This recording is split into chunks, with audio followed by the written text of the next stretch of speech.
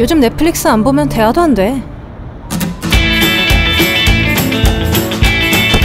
그렇다고 다른 OTT는 안 봐도 돼? 난 지상파 예능이랑 드라마도 꼭 봐야 돼. 그거 다 보려면 대체 얼마나 내야 돼? 월 9,900원 경유로 안내합니다. 그게 돼?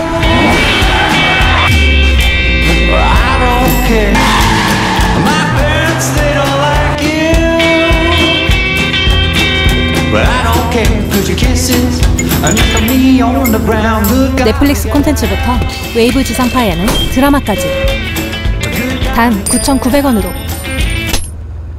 이게 되네?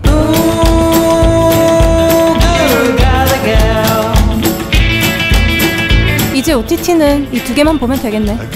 SKT 9,900원에 넷플릭스 웨이브 이게 되네. SK텔레콤